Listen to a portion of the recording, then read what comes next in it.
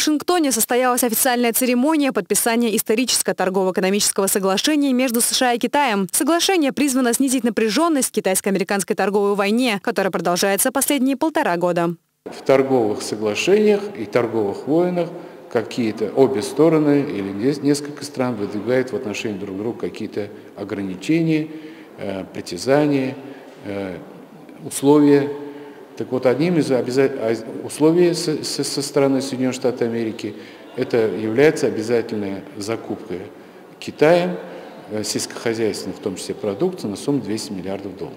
Здесь мы имеем то же самое примерно.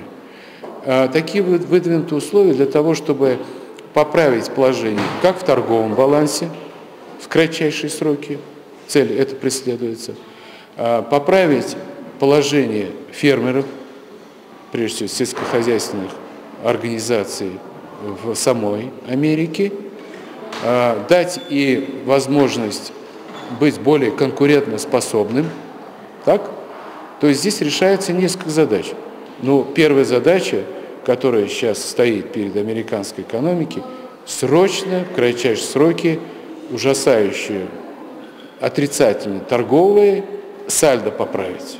Отметим, что торговые споры между США и Китаем ведутся на протяжении последних двух лет. Они начались с того, что Трамп обложил дополнительными пошлинами китайские товары. В ответ на это Пекин предпринял аналогичные шаги. Китай становится глобальным конкурентом, стал Соединенных Штатов Америки на мировых рынках.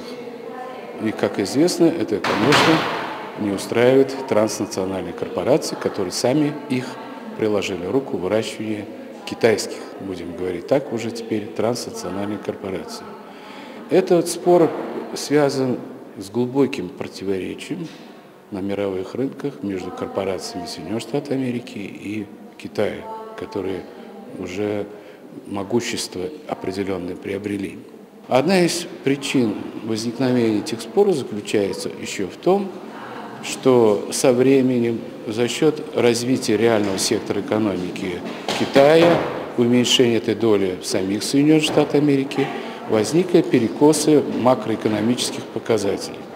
Ну, как известно, у Соединенных Штатов Америки в результате таких процессов негативный торговый баланс сложился и даже платежный баланс.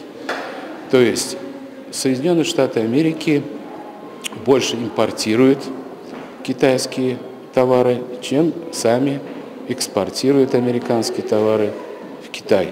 Но как же соглашение США и Китая повлияет на российский экспорт? Мы сейчас ровно имеем столько китайских товаров, сколько это выгодно Китаю на сегодняшний день.